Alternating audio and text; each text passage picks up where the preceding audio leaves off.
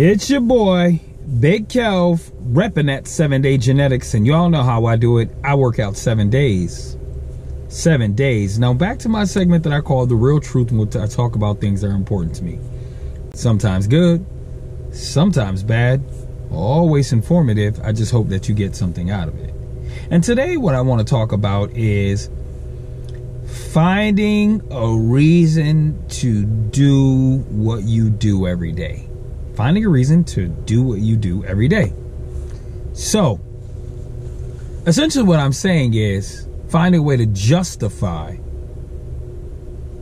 your lifestyle. For instance, if you work a nine to five job and you're barely making any money at that job, you need to figure out why. Is it that you don't have the education to get a better job? Is it that you really love that job? What is it? Why are you there? One, if it's because of education, well, then you need to take your monkey ass and go back to school and get a better education to get yourself where you want to be. If it's a situation where you love that job, then what are the advancement opportunities to get you to the next level?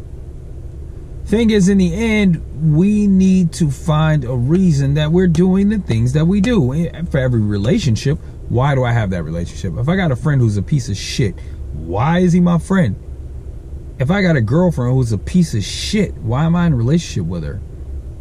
Figure out why you're doing what you're doing. Because in the end, if there is no reason, then it's just wasted time It's things that you there are things that you could be doing with that time instead of wasting it with no good people and no good efforts that go unnoticed i.e. the shitty jobs also the habits that you have you drink a whole bunch of soda why you don't go to the gym why you don't eat healthy why why do you have the habits that you have you need to figure those things out because in the end, those things can be detrimental to you. So you need to figure out why. Is it that you're just greedy? Thing is that, or or could it just be a simple reason that, oh, well, I know it's not good for me, but in the end, you know, at this point, I'm I'm not even worried about it. That type of bullshit.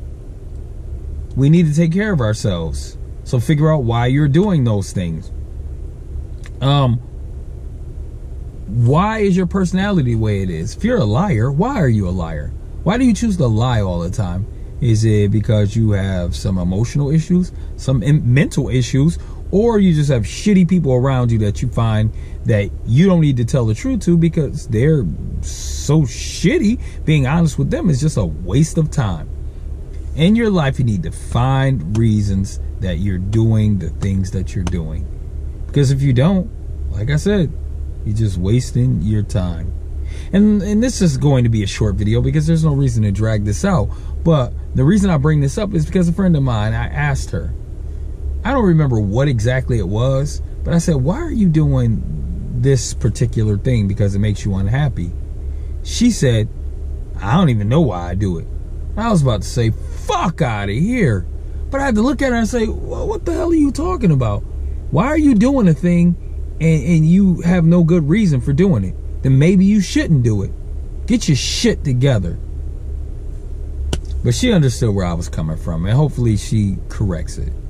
But it is what it is. If she doesn't, hey, that's her life. But anyways, it's your boy Big Kel. If you like what you heard, go ahead and hit that subscribe button below. If you're not the type to subscribe, that's cool too. Just watch my damn videos make sure you're signed in when you do. Also, if you have an idea for an upcoming video, go ahead and post in the comments below. And if I agree and it's something that hits me here, like it hits you, I'll make a video about it. But if not, then I won't. And you know the rest. I don't need to say it anymore. But anyways, it's your boy, Big Kel. And as usual, I'll see y'all tomorrow. Peace.